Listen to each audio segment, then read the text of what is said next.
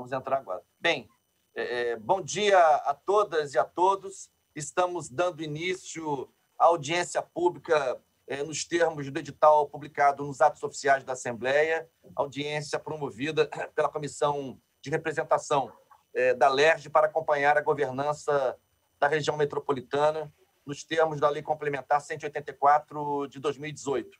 Hoje nós temos uma audiência focada, é, é, tendo em vista que há um projeto de lei complementar, é o projeto de lei complementar número 21 de 2020, de autoria da deputada Zeidan, também subscrito pelos deputados André Siciliano e por mim mesmo, que é um projeto que altera a Lei Complementar 184 de 2018 e dá outras é, providências. E o objetivo da audiência é, é, é focar é, neste projeto é, e nas emendas, quatro emendas que a ele foram apresentadas, é, tendo em vista que esta matéria estará na ordem do dia da próxima quinta-feira.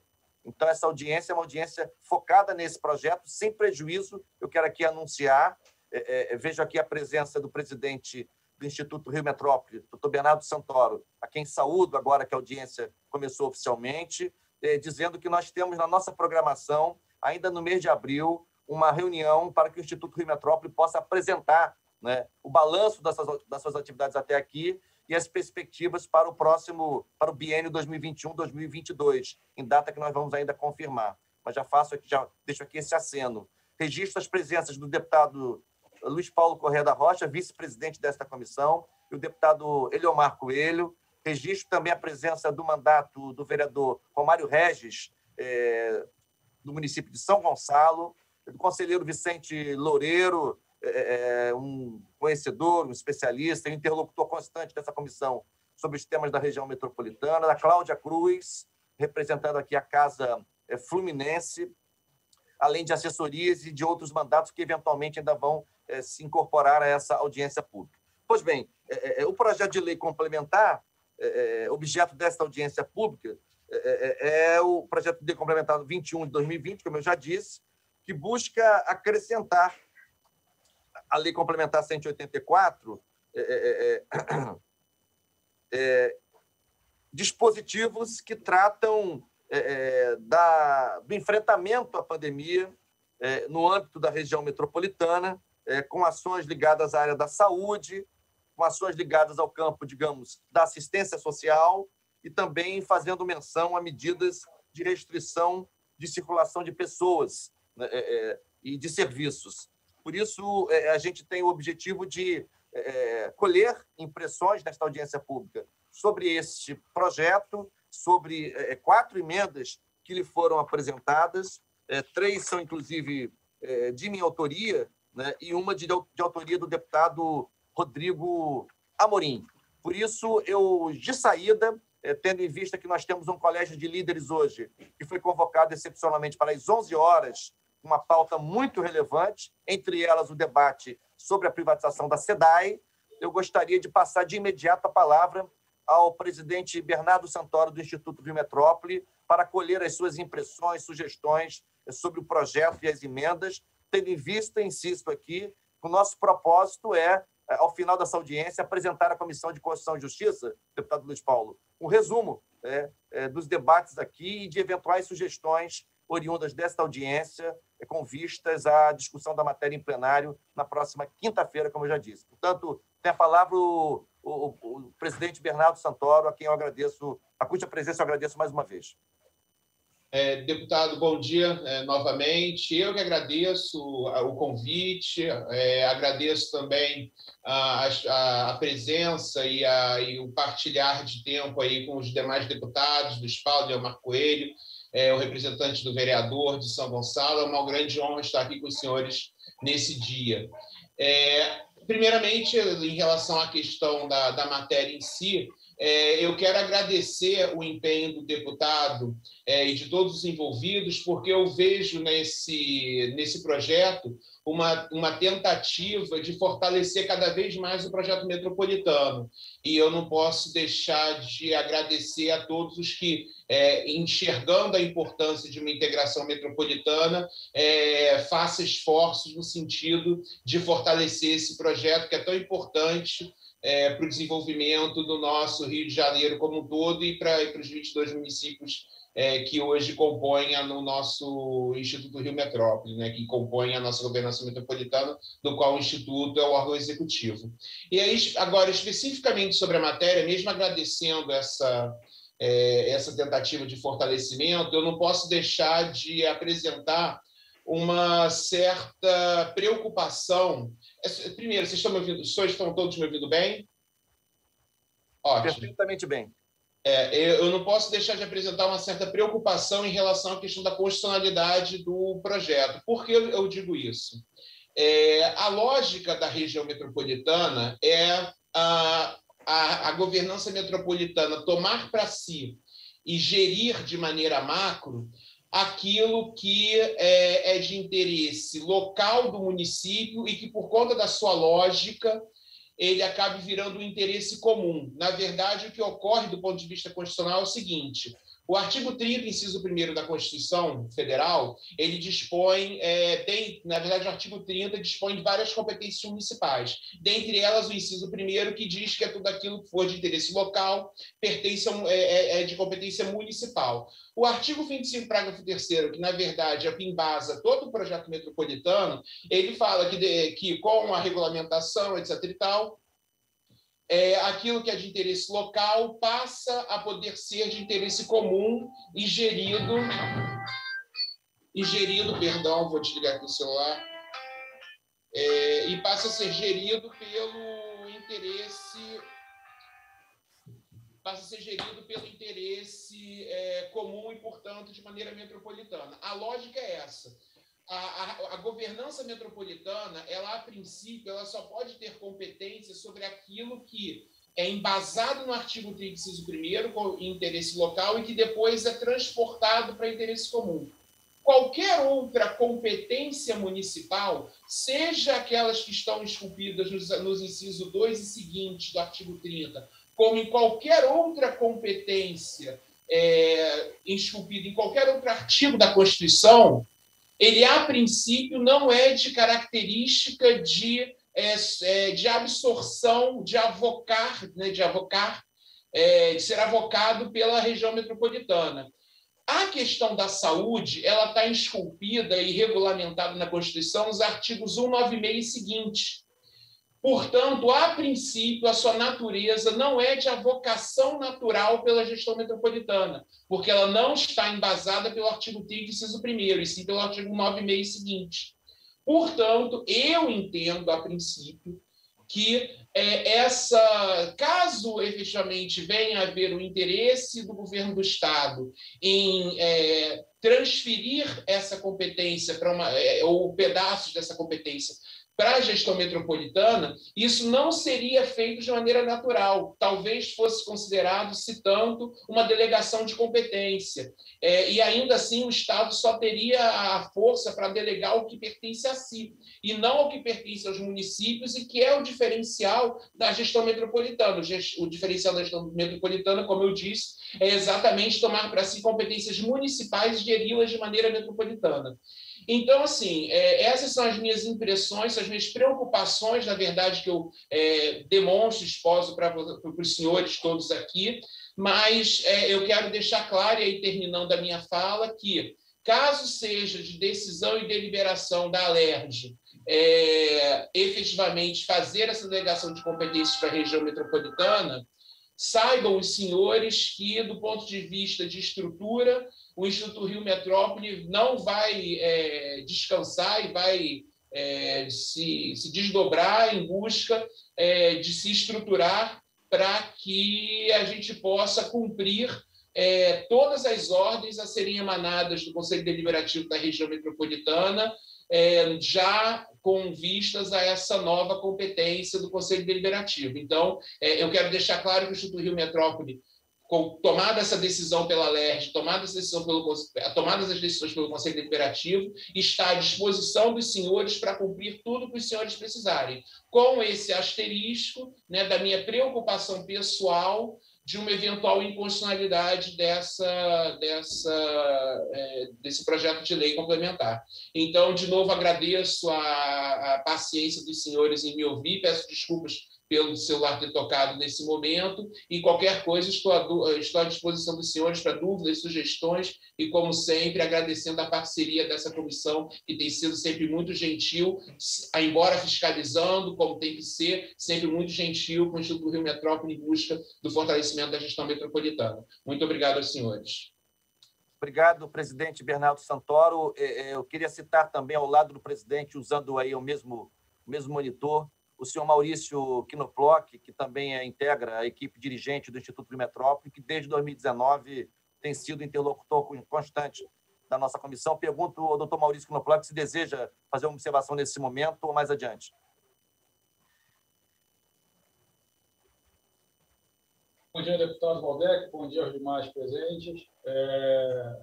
Não, nesse momento, faço minha das palavras do presidente Bernardo e vamos, vamos seguindo aí o debate, que acho que a gente vai começar a construir coisas interessantes aí mais adiante.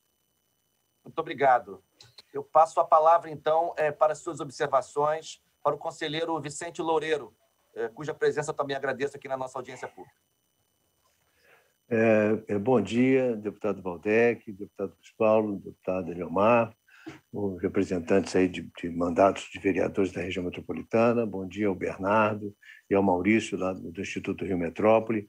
É um prazer, é, é quero agradecer muito o convite e quero, de, de, de, pronto, parabenizar a vocês da LERJ pela iniciativa de, de é, propor esse ajuste né, à legislação, é, tendo em vista a situação que enfrentamos que, além de inédita, não, não podia ser, é, não, não pôde ser planejada ou prevista. Né? Então, vivemos uma situação, não só no Brasil, mas no mundo, né, de, de uma pandemia é, de, de, de, atuação é, avassaladora, com muitas mortes, enfim, atingindo muitas pessoas e obrigando as cidades, os estados, os países a, a se mexer, a buscar saídas. Eu, eu queria dar logo de, de, de pronto um exemplo da Finlândia, um país até que tem enfrentado bem a pandemia e que acaba de discutir, né, fazer a aprovação de uma emenda à sua Constituição por conta de lidar melhor com o direito de ir e vir, tendo em vista a necessidade de tomar algumas medidas preventivas para enfrentamento dessa segunda e de uma possível terceira onda. Então, é, é o que está posto não é definitivo diante de uma situação como essa. Essa é a primeira observação que eu queria é, fazer e por isso é, parabenizar vocês. Quer dizer, é, sempre fui, eu fico muito à vontade para dizer isso, vocês vão lembrar, porque tivemos bons embates, porque sempre me posicionei contra a inclusão de, de elementos na, na, lei da governança metropolitana naquela época que não fosse as ligadas mais ao desenvolvimento urbano, que estavam já mais consagradas na história de enfrentamento do tema metropolitano no Brasil como os temas realmente de interesse comum é, me, me, debati, tivemos, tivemos várias emendas que foram motivo desse debate, de tentando incluir a saúde, a segurança e outros, por entender que elas já tinham protocolos próprios e deveriam ser tratadas dessa forma. Porém, isso antes da pandemia. Com, a, com o advento da pandemia e com essa, essas medidas que a gente tem assistido, né, de, é, o governador toma um, toma um decreto, de, define um decreto, a Leste faz um projeto de lei, o prefeito da capital faz um no outro sentido, da, da outra cidade no outro. Então, fica uma parafernália de, de orientação que confunde a população, que estressa os serviços. Então, eu acho que é preciso pôr um pouco de, de, de, de, de ordem nisso, nesse processo, um pouco mais de, de temperança, de equilíbrio nessas decisões, porque elas são de preservação da vida. Então, nesse sentido, eu acho que, é, que, é, que é, é absolutamente oportuno, necessário, né? é uma emenda, é um projeto de lei de emenda, né? de, de uma lei complementar, né? que eu não esperava, em tão pouco tempo, não tem três anos né? que a lei foi aprovada, né? ela tivesse necessidade de ser mexida. Mas ela me parece ter necessidade de, de incorporar essas, essas essa, essa, essa mudança na medida em que temos diante de nós um desafio em que a maneira como está posta, cada um atirando para o lado, buscando uma solução, às vezes da melhor das intenções, mas que acabam é, não fazendo é, é, fluir os serviços e, a, e, a, e, as, a, e as comunicações e as interfaces entre as atividades econômicas e sociais presentes no território metropolitano que a pandemia está exigindo. Então, eu, eu, eu saúdo é, parabenizo. E a única observação que faço, deputado Valdec e demais assistentes, é que acho que era, era interessante gravar essa temporalidade. Ela é uma medida que ela serve para uma circunstância excepcional que espero e desejamos todos que tenha fim o mais breve possível. Mas é necessário, é indispensável, uma articulação para que o ir e vir, para que os horários de funcionamento, para que um, um aqui hoje é assim, um município está em lockdown, o outro vizinho não está, e hoje é um, desculpa a expressão, um sarapatel de medidas e que, que não se entende que colocam absolutamente em xeque as medidas de, prote, de proteção que a gente tanto precisa e que tanto se faz necessário nesse momento agudo que enfrentamos. Muito obrigado, espero ter, ter contribuído e saúdo a todos aí pela participação. Obrigado, conselheiro Vicente Loureiro, por suas observações, sempre muito relevantes. E queria eh, passar a palavra aqui à representação da Casa Fluminense. Eh, a Cláudia Cruz está presente, parece que o Henrique Silveira também entrou na reunião, mas, enfim, a, a representação da Casa Fluminense tem a palavra é, por favor, agradeço também a presença. Obrigada. Bom dia, senhores deputados, demais representantes. É um prazer a Casa Fluminense ter recebido esse convite, uma honra estar aqui com vocês discutindo essa PL tão importante. Nós acreditamos que essa PL é extremamente oportuna nesse momento de pandemia e de caos no sistema de saúde que a gente vive no momento e traz questões muito necessárias para esse momento de pandemia, a partir de uma lógica de coordenação entre entes federativos, pensando na governança da região metropolitana. Né? A Casa Fluminense sempre se debruça sobre as questões da região metropolitana, tanto que na semana passada publicamos um artigo realmente discutindo os problemas de descoordenação e de lentidão na vacinação, problemas de bases de dados encontrar informações coerentes para identificarmos o avanço da vacinação e os problemas, é, os gargalos no funcionamento desse processo, né? E essa lei, esse projeto de lei, vem ao encontro dessa ânsia, né? Coordenar ações, coordenar ações de contratação de profissionais, de construção, de aparelhamento de equipamentos, regulação de leitos, que é fundamental e é importante destacar também que a política de isolamento que é praticada nesse momento delicado de pandemia, ela passa por um espaço de negociação e fundamentalmente de cooperação. É importante que a região metropolitana tenha coesão e coordenação de esforços para enfrentar a pandemia. Não adianta um município determinar que vai fechar, o comércio, que vai fechar o funcionamento de determinados setores, e o outro continuar funcionando, porque a população circula pela região metropolitana. A, a gente não vive numa ilha, né? A gente tem escutado bastante essa frase. As pessoas circulam pela região metropolitana e as pessoas buscam vacinas em diferentes locais, né? Então, mais do que nunca, o enfrentamento da pandemia, ele não é para ser tratado nesse momento como uma contenda política. Ele é um momento para ser tratado como uma questão de saúde pública e de saúde coletiva. E pensando numa questão de saúde pública e de saúde coletiva, esforços coordenados trazem mais resultados. Precisamos sim nos organizar enquanto região metropolitana para coordenar nossas ações e principalmente para vacinar a população e produzir dados confiáveis para que possamos avaliar o avanço da região metropolitana no combate à pandemia do coronavírus. Eu agradeço. Essa é minha fala bastante sucinta, tendo em vista o tempo que temos. Muito obrigada. Muito obrigado, Cláudia Cruz, representando aqui a Casa Fluminense, que é uma instituição que produz estudos muito relevantes, inclusive sobre a região metropolitana, com dados muito qualificados. Agradeço mais uma vez a presença da Casa Fluminense. Antes de passar para os mandatos, para os parlamentares, quero saber se há alguma outra entidade ou instituição aqui presente na audiência que queira se manifestar sobre o projeto. Bom, eh, não havendo, eu passo a palavra ao deputado Luiz Paulo Correa da Rocha para a sua manifestação. Em seguida, vamos ouvir o deputado Eleomar Coelho e também o mandato do vereador Romário Regis. Deputado Luiz Paulo tem a palavra. Senhor presidente, deputado Valdec Carneiro, senhores deputados presentes, Eleomar Coelho, senhoras e senhores. Primeiro, que eu ouso discordar do presidente do Instituto Rio Metro quanto à constitucionalidade da matéria. A Carta de 88, quando foi promulgada, A última pandemia mundial tinha 70 anos, que foi a gripe espanhola. 70 anos. Essa pandemia tinha afetado 500, 500 milhões de pessoas no mundo, um quarto da população, e produziu mais de 50 milhões de mortes. Em 2018, essa pandemia fez 100 anos e agora está fazendo 103. Por via de consequência, nem a Carta de 88, nem as decisões do Supremo a respeito de região metropolitana, nem tampouco quando o regime ditatorial, em 1975, na década de 70, implantou o conceito de região metropolitana, tinha previsibilidade de pandemias. O próprio Supremo Tribunal Federal tem decidido, muitas e muitas vezes, arranhar a Constituição, que a questão da saúde pública está em primeiro lugar.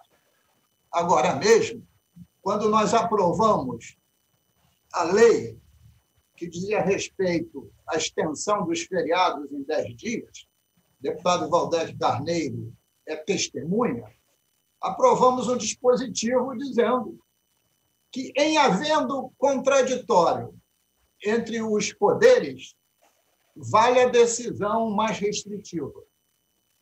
Para não dizer claramente que o poder constituído para decidir localmente é o município. Então, eu não vejo, nessa excepcionalidade de pandemia, inconstitucionalidade da matéria. Mas não vejo mesmo.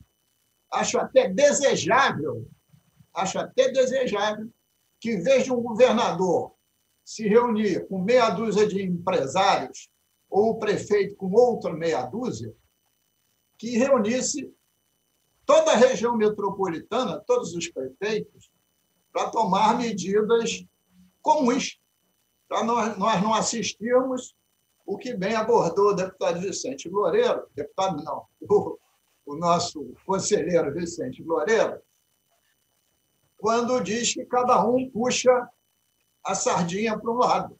Tem visto continuadamente o prefeito de Duque de Caxias contrariar todas as regras em período de pandemia, todas sem exceção e até mesmo com a presença do nosso vereador de São Gonçalo, verifico também que o prefeito de São Gonçalo também não, tá, não está atento para essas questões, né? descumprindo todo um conjunto de decisões. Né? E uma grande fragilidade do governo federal, que devia assumir, através do PNI, a coordenação geral de tudo e não assume pelas suas medidas negacionistas. Então, eu acho que o projeto de lei vem em boa hora, não vejo vício de inconstitucionalidade.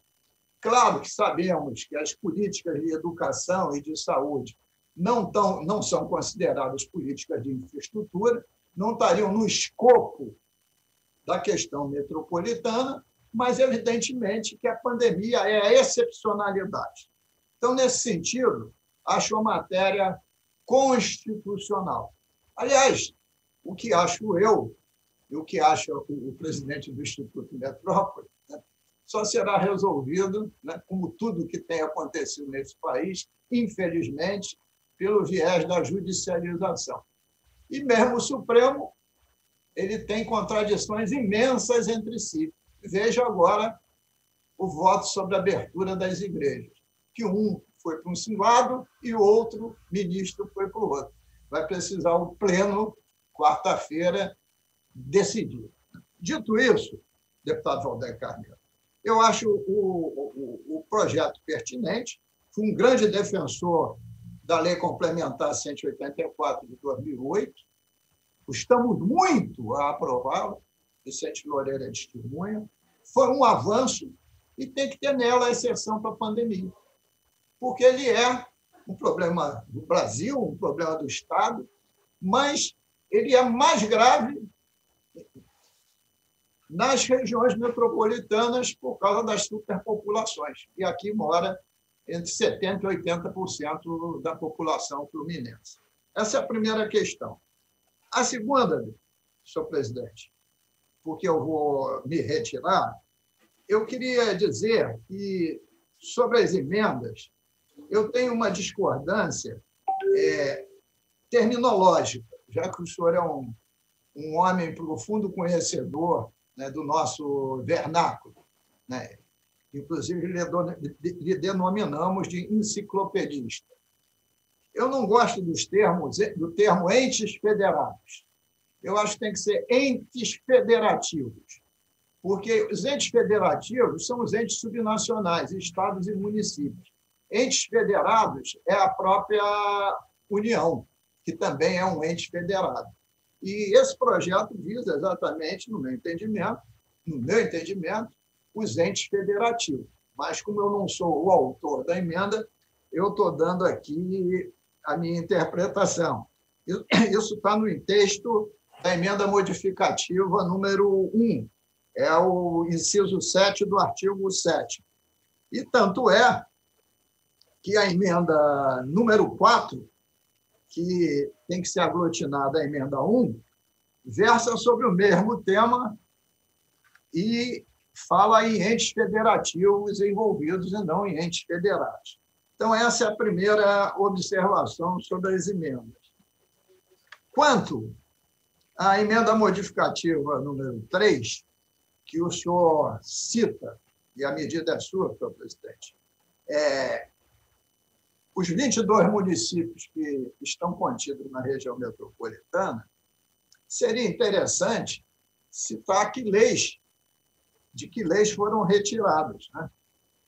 das leis complementares que criaram a região metropolitana, para que a gente não fique em dúvidas se esqueceu-se de um município ou se incluiu outro. Mas eu contei aqui, tem os 22. Né?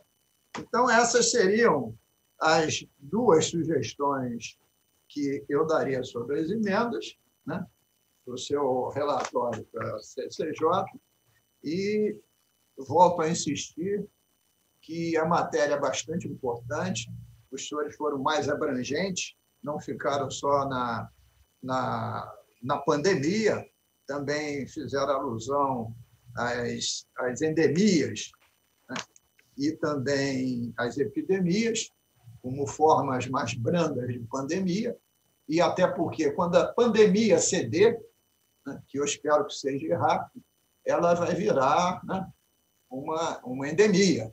Ela não vai acabar da noite para o dia. E as medidas vão ter que ser continuadas. Por isso, acho razoável né, que nós realmente citemos endemias, epidemias e pandemias, porque será a escala inversa, né, retrógrada, que felizmente um dia acontecerá.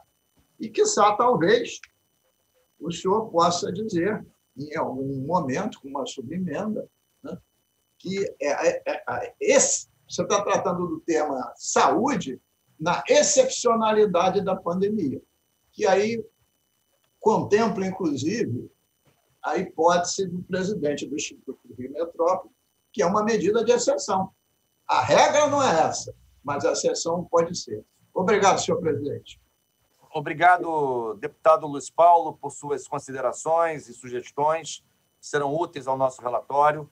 E eu queria aproveitar, antes, da sua, antes de Vossa Excelência deixar a audiência, para sinalizar, com a presença aqui do presidente Bernardo Santoro e também do deputado Eliomar Coelho, a quem eu passo a palavra em seguida, deixar assinalado, como nós havíamos combinado na comissão as agendas da comissão às sextas-feiras, assinalado é, é, é, a possibilidade de uma reunião na sexta-feira, dia 16 de abril, é, é, pela manhã, para que o presidente do Instituto Rio Metrópole possa é, apresentar o seu balanço, as suas perspectivas para o biênio 21 e 22, e também sugestões que o Instituto já vem, já vem compilando sobre eventuais aperfeiçoamentos na Lei Complementar 184. Então, deixo aqui essa, essa agenda assinalada, vamos confirmá-la ainda hoje até o final do dia, mas antes que o deputado Luiz Paulo é, é, se ausente da audiência. Bom, deputado Eliomar Coelho tem a palavra, por favor. Em seguida, veja aqui presente na audiência o vereador Romário Regis, é, de São Gonçalo, que fará uso da palavra também. Deputado Eliomar Coelho tem a palavra. Bom dia, deputado é, Valdec Carneiro. Quero cumprimentar também o deputado Luiz Paulo Correia da Rocha, companheiro Vicente Loureiro, cumprimentar Cláudia Cruz, representando aí da Casa Fluminense, e o presidente do Instituto Rio Metrô. E os demais presentes, né, esta audiência pública.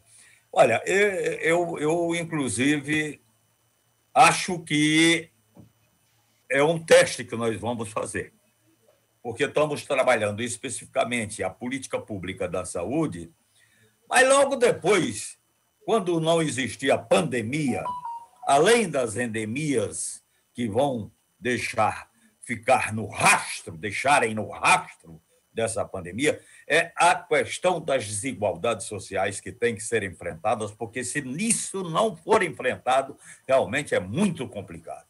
E para serem enfrentados, aí eu vou na linha do Vicente Loureiro. Quer dizer, tem que haver uma concertação entre as representações dos municípios, quer dizer, entre os executivos municipais que constitui exatamente a região metropolitana. Não dá para um ficar fazendo uma coisa, outro fazendo outra, outro fazendo isso, aquilo, e no fundo, no fundo, não há um resultado positivo de nada.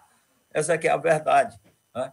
Quer dizer, o que está acontecendo em relação, por exemplo, a, a, a uma lei que foi aprovada é, na Assembleia Legislativa, é, no caso é, das exigências os protocolos serem colocados em prática, é, é, na medida que haja é, uma diferença entre é, aquilo que é determinado pelo executivo municipal e aquilo que é determinado pelo executivo estadual, prevalece aquela é, exigência que for mais rígida. Isso está sendo desrespeitado o tempo todo. Quer dizer, por que está sendo desrespeitado o tempo todo? Quer dizer, no fundo, no fundo, a, a, o problema está no nascedouro, que não teve a concordância ou a participação efetiva de todos os executivos municipais constituintes da é, região metropolitana, 22 municípios. Então, nós vamos conviver com problemas seríssimos depois da pandemia, exatamente por conta dos problemas de caráter social que vai acontecer essa questão do desemprego, a questão. É, olha, realmente, olha, ninguém tem a menor noção do que, que pode acontecer. Só sabemos que o que está aí pela frente não vai ser coisa boa. Isso daí tem que ser tratado com equilíbrio, tem que ser tratado com muito cuidado, tem que ter um zelo todo especial, tem que ter realmente a construção de tratativas entre os é, é, executivos municipais da região metropolitana para ver se realmente a gente consegue levar adiante uma administração ou uma governança exatamente da região metropolitana. De maneira que eu, a minha preocupação passa é, por isso daí. É uma participação que eu não vejo de forma efetiva daqueles que realmente tem tudo a ver com o que a gente está discutindo, que é o prefeito do município, o executivo eh, do município, eh, A, B, C, D, o dos 22. Então, mas de qualquer maneira, como está previsto, inclusive, essa, essa é, audiência para o dia 16, eu acho que a gente pode até aprofundar um pouco mais no dia 16, na medida que vai haver, digamos, a apresentação do plano de trabalho por parte do Instituto Rio Metropolitano. Obrigado, deputado Eleomar Coelho. Eu vou ter que me retirar porque eu estou numa reunião de bancada agora, tá legal? Me desculpe. Não há problema algum. Agradeço suas contribuições e, na verdade, insisto que no dia 16 não será propriamente uma audiência pública, mas uma reunião da comissão convidando o Instituto Rio Metrópole para fazer a apresentação que eu mencionei. Mas agradeço muito ao deputado Eleomar, que, aliás, desde o início foi um dos deputados que mais se envolveu no debate sobre a mensagem executiva que deu origem à Lei Complementar 184 de 2018. É, é, passo a palavra agora ao vereador Romário Regis, do município de São Gonçalo, cuja presença também eu agradeço muito. Bom dia, Valdec. E aí, cumprimentando o Valdec, cumprimentar todos os presentes nessa audiência.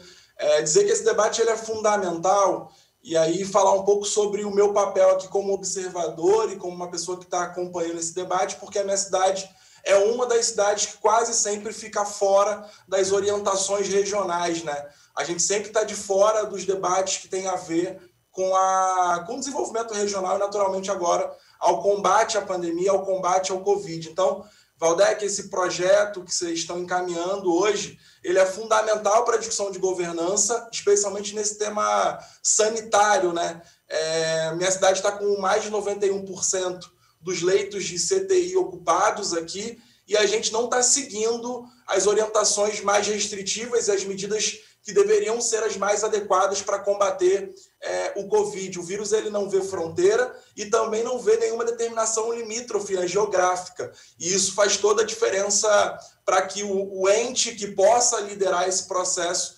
ele garanta que todos os municípios se organizam de uma maneira mais equilibrada possível. Né? É óbvio que tem a, a dinâmica específica de um determinado local, mas a discussão sobre governança é sobre isso. Né? É um olhar um pouco mais geral, um pouco mais é, amplo sobre as localidades, sobre as questões territoriais. Então, só para registrar aqui a importância desse debate, para que cidades que muitas vezes estão de fora das melhores medidas internacionais e nacionais não sofram por conta dos gestores locais. E aí, reforçando a importância desse debate sobre governança, e parabéns para todo mundo que está nesse debate. Muito obrigado.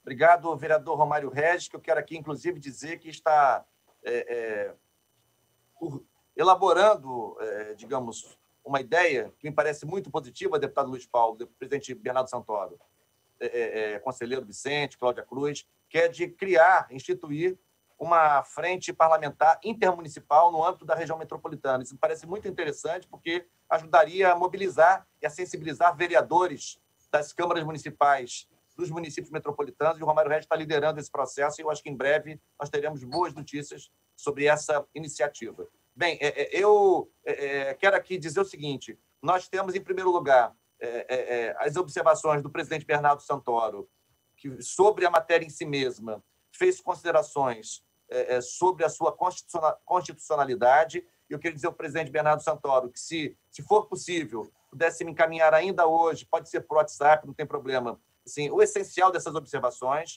O deputado Luiz Paulo fez, conselheiro, conselheiro Vicente Loureiro, fez observações, sobretudo eh, em relação à matéria, ressaltando a necessidade de demarcar eh, eh, essa questão da temporalidade, né? porque pandemias, epidemias, endemias são períodos excepcionais, né? isso não, é, não são tempos comuns, não são tempos ordinários, né? de alguma maneira isso ficar consignado no texto. O deputado Luiz Paulo, sobre a matéria em si mesma, fez considerações sobre a possibilidade de aglutinarmos as emendas 1 e 4 em relação, sobretudo, ao vocábulo federativo, que lhe parece mais adequado que o vocábulo federado em relação aos entes.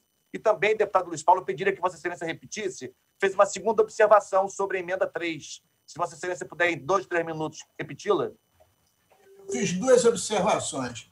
É quando você lista os municípios da região metropolitana, e eu contei, você listou 22, para que não pare dúvidas, botar em que lei complementar você retirou os 22 municípios. Mas qual é essa emenda, deputado Luiz Paulo? Qual é essa emenda? A emenda. É a emenda 3, artigo 1. O senhor citava aqui todos os municípios. Onde isso? Mas a, a, emenda, a emenda 3 foi por isso que eu tive essa dúvida, ela faz apenas uma modificação do caput do artigo 1 do projeto, para enfatizar a ideia de coordenação de ações. Não, é? não então você tirou, você não, tá, não vai repetir os municípios. Você vai ficar com essa redação de esta lei complementar visa adotar o estado do ordenamento jurídico que permita a coordenação das ações de enfrentamento à endemia, epidemia e pandemia na RM. É isso? Isso, isso mesmo. Isso então, mesmo. Então, tá perfeito. E a terceira questão era a excepcionalidade da, da, da, pandemia, das endemias, a excepcionalidade, na mesma linha do Vicente Loureiro. Ok, obrigado. É, então, assim, é, é, é, agradeço, portanto, as manifestações sobre o projeto. Eu quero lembrar que no dia 16 nós vamos fazer uma reunião da comissão, é, convidando o Instituto Rio Metrópole. Não é uma audiência pública, a audiência pública será em seguida, é, mas faremos, uma reunião de trabalho da comissão é, convidando o presidente do Instituto Rio Metrópole, e sobre essa matéria é, nós produziremos um relatório que será encaminhado à CCJ, que fará o seu parecer, não é a comissão da região metropolitana que dará o parecer, é a comissão de Constituição e Justiça, mas que certamente levará em conta as observações é, colhidas nesta audiência. A matéria está na pauta na quinta-feira e, naturalmente, que eu darei notícias a todos os participantes aqui sobre os desdobramentos da tramitação deste PLC número 21 de 2020. Bom, meus amigos, eu quero agradecer muito, né? Como eu disse no início, era uma audiência objetiva. Nós temos um colégio de líderes agora às 11 horas. Para agradecer muito ao Instituto Rio Metrópole, na figura do presidente Bernardo Santoro e do Dr. Maurício Quinoploc, ao conselheiro Vicente Loureiro, a, a representante da Casa Fluminense Cláudia Cruz, ao vereador Romário Regis e sua assessoria aqui presente, e aos deputados Luiz Paulo Correia da Rocha e Leomar Coelho, é, pela participação nessa audiência pública. E, e aproveito para repetir o anúncio. Nós faremos uma reunião de trabalho da comissão e, em seguida, faremos uma audiência pública para a apresentação é, do, do, do, plano de trabalho do Instituto do Metrópole para o biênio 2021-2022, além também nessa audiência pública das, das é, sugestões do Instituto Rio Metrópole com vistas a um a, aprimoramento da Lei Complementar 184 de 2018. Nós íamos começar por isso, mas como, como esse projeto de lei complementar surgiu, ele acabou,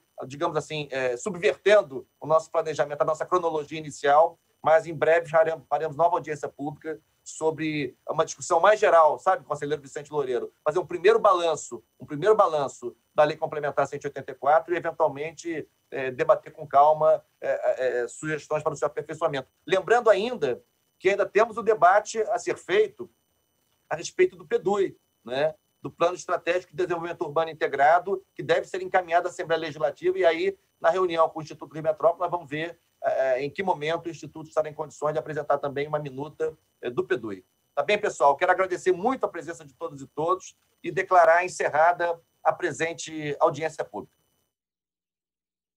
you